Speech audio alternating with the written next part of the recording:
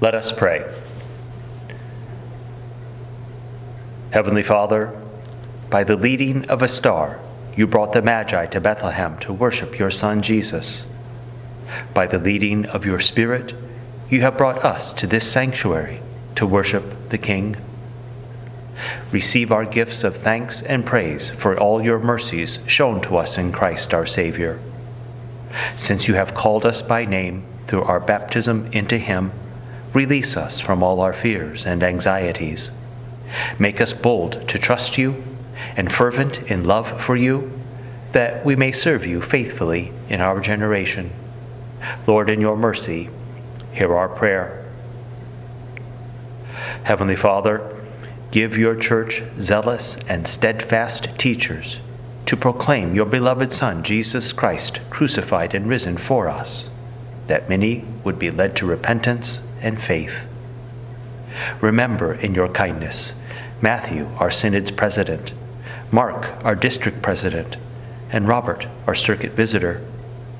Bless us with an increase of those who are preparing to serve in the office of the holy ministry and other church work vocations. Lord, in your mercy, hear our prayer.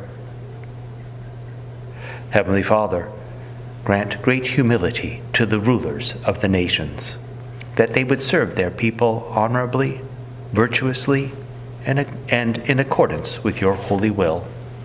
Lord, in your mercy, hear our prayer. Heavenly Father, behold in compassion all who are in any danger, trouble, or need.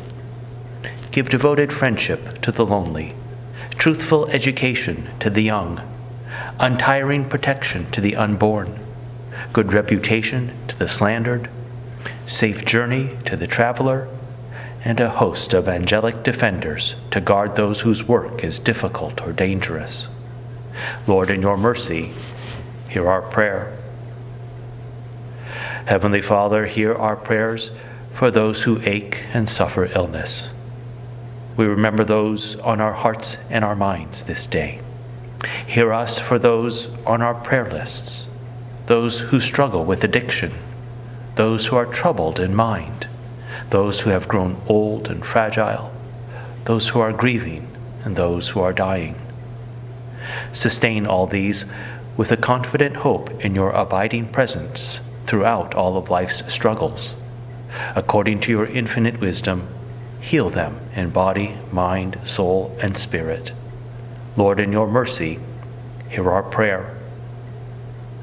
Lord God, Heavenly Father, by the baptismal blessings of your Holy Spirit, keep us, we implore you, in the one true faith until our life's end, and lead us to everlasting salvation in your Son's eternal kingdom through Jesus Christ, your Son, our Lord, who lives, who lives and reigns with you and the Holy Spirit, one God, now and forever. Amen.